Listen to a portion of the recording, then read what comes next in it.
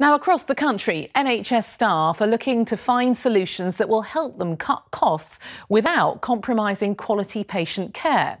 Bluestream Academy, the market leader in e learning for GP practices, is focused on delivering just that. Julie McDonald went to see how their online training suites save CCG's money whilst improving the patient experience.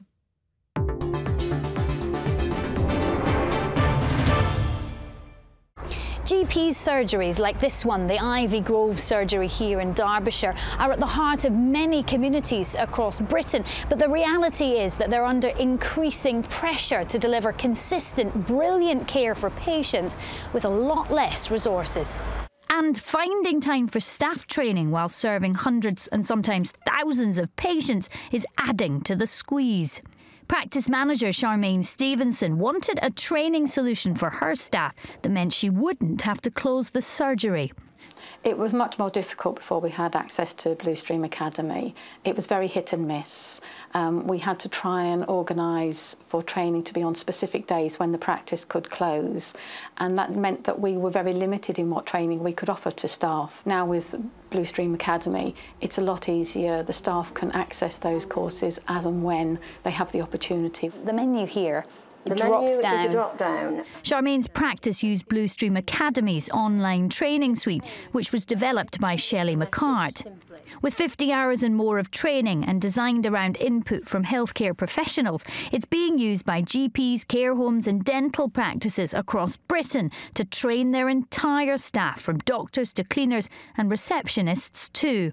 A practice manager came onto the stand and said to my colleague, you saved my life. Well, I don't think it's quite that serious, but the feedback that we're getting is that it's helping so much. Practice managers who were using it came up with suggestions as to how we could improve the system, and then it became a system developed by the system users, you might say. If someone in a practice in Derbyshire moved to Cornwall, they could take their training with them. It's a safety passport type of thing. And it's something that I, I believe has always been um, the NHS have always wanted to have this ability to port training from one place to another. With 80,000 medical staff now using Bluestream across the UK, they're aiming to become the national standard for training, something that's vital if care is to be consistent across the country. John Lockwood is a specialist advisor for the Care Quality Commission.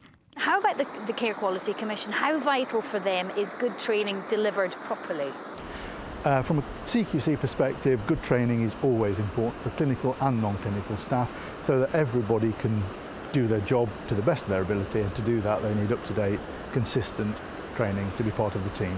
At Ivy Grove Surgery, the training is increasing the confidence of staff. GP Peter Smith and admin assistant Emma Warmby have been working on a safeguarding module it's easy to see your progress through it. So you've, you've got all the um, relevant modules laid out in front of you and it's very easy to see what you've done, what you still need to do. There's been a real change in culture, I think, recently with things like safeguarding. It, it used to be the case that yeah, the book would stop with, with, with the GP perhaps. And I think it, it empowers the receptionist. If they've seen something that, that concerns them, gone are the days of thinking, well, I can't tell the doctor about that because they're high and mighty you know, very, very empowered to actually raise that if they think there's an issue there. It's important to know these things, that you can actually pick up on things when you've had the training, which you might not have picked up on before, or you might not have thought it was your place to bring it up. It is good we can just do it on our breaks or or anything where you can just pick a module and you can see how long it's going to take and you think, oh, I can do that in my lunch break. For Shelley and her team, helping the healthcare profession to deliver better patient care is at the heart of their business. It's increasing, improving the patient experience, but it's not costing any more to do that. So we're saving the NHS money.